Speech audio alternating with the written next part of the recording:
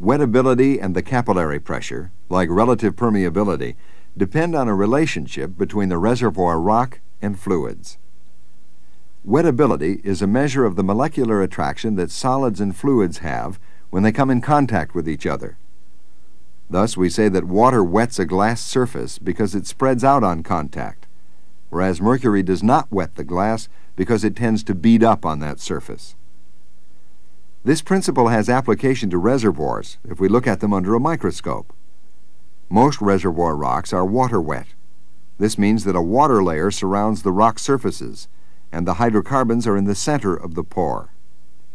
Capillary pressure is the pressure that exists across a fluid interface within a capillary medium. We all remember that if we immerse a capillary tube in water, the water will rise in the tube to a certain height. It rises because water wets the glass. The height of rise depends on the interfacial tension between water and air and the radius of the tube. If the tube radius is reduced, the water will rise higher in the tube. A reservoir rock is a capillary medium. Therefore, the oil-water contact will not be a flat horizontal surface. Water will move up higher in the smaller pores and not as high in the larger pores. The contact then will be a transition from a zone of only water below to a zone with only connate water saturation above.